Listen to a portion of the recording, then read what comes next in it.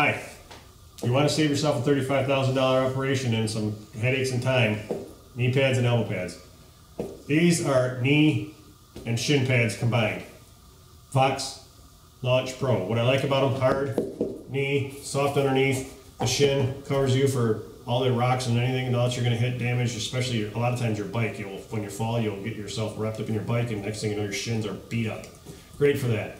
Another great thing about these, as opposed to the knees, just the knees themselves, these ones wrap around. So you pop your knee and you don't got to take your shoes off. You don't got to play around. When you get done riding and you're tired, you just zip them off. Away you go.